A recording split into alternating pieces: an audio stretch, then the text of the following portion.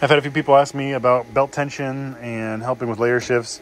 Uh, I can't say I'm an expert at this, to be honest with you, and I've been struggling with it myself. So let me show you. This is, right now I've been having successful prints, so this is the best I can do as far as maybe how your belt should be. This thing moves pretty easily.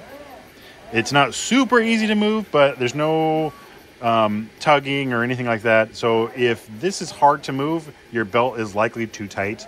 Um, same with this up here. If this is really hard to move, chances are your belt is too tight. Um, if it can go zoop right across, then it's too loose. That's not a great analogy on how to do it. Um, oftentimes, I'll check to see if belts are loose by feeling the belt itself, which is kind of tough, a tough way to do it as well. And when that's the case, you just adjust this knob. So I kind of, I personally go by the how well this moves. If it's tight, it, then it'll be like really hard to move, um, and you'll feel like tugging. It'll feel like it's doing this, like it's tugging. Same with this. If I tighten it too tight, it starts to go. I can feel almost feel the wheels bolt, you know, tugging. So I kind of look for how well this moves. Um, a buddy of mine has said to listen for the thump, which is tough for me because, I mean, maybe on another printer it'd be okay, but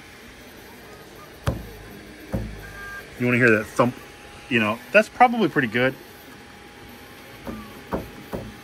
You know, if I go too tight, I've had layer shifts. If I'm too loose, I get layer shifts. So you kind of have to find the in between for yourself. If it's layer shifting and this is too hard to move, it's probably too tight. If this is layer shifting and it's super easy to move, it's probably too loose.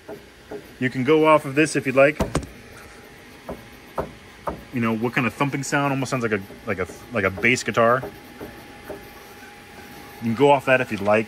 I I still haven't gotten perfected this, so just just understand I'm not an expert in this aspect, and this is the first time I've had a belt designed like this.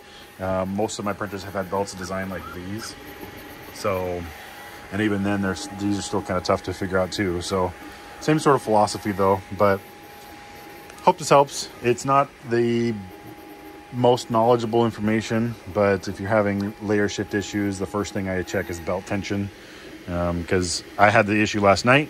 I thought it was too loose. I tightened it. I apparently made it too tight because the more I tightened it, the worse the layer shift got.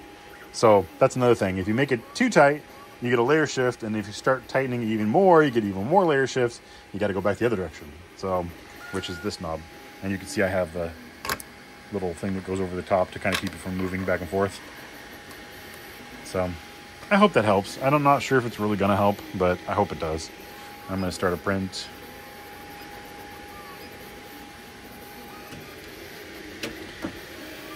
So, I hope that helps, guys.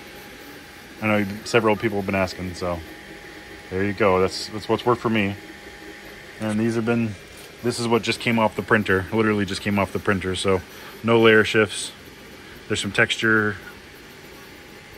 That's all the battle damage built into the design. So it's not actually a problem with the print. But some of that texture I think is actually from my settings, to be honest with you. Again, this is texture from the battle damage, but you can kind of see it's printing pretty good. And I'm going to publish a video on my settings in Prusa, Orca, that sort of thing. Thanks for watching, guys.